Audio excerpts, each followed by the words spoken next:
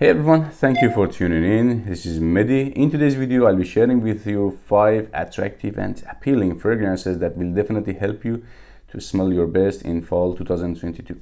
Without any further ado, I want to start by House of Valentino. I have here Valentino Uomo Intense, a powdery, semi-dark and sweet fragrance with prominent chocolate, leather and iris. Smells amazing, expensive and very inviting. I prefer it for dressed up situations night times it is better it suits better those type of situations. Performance is very good and projection sillage is huge. At number four a pretty well-known fragrance from house of dolce & gabbana the one edp there is also edt version but i can get better results reactions and performance out of edp so it is herbal to my nose without being barbershoppy and uh, green let's say although it has a green basil touch to it but it is not a green green type of scent. It is only a touch or kick let's say to this one. Coriander cardamom it is spicy sweet type of fragrance with touch of.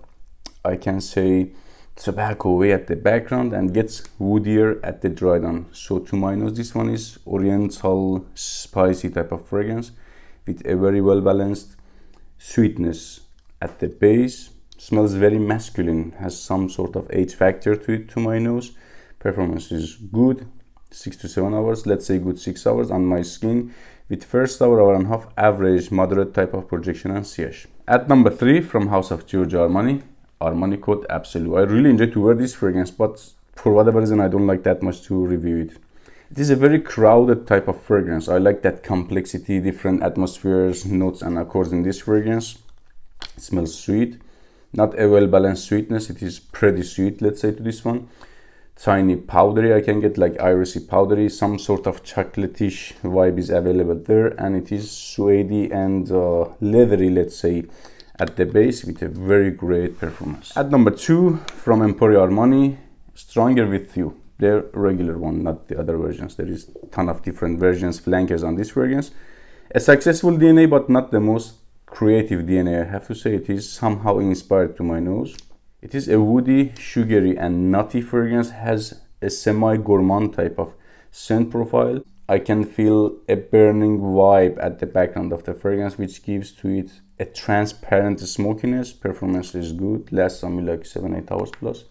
On the skin with first hour, hour and a half average projection and sillage.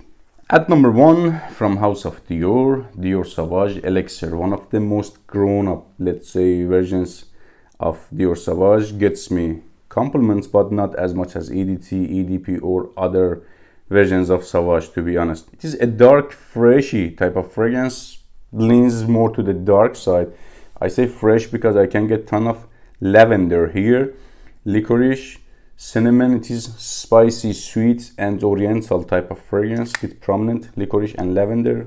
Performance is out of this world. Take care guys.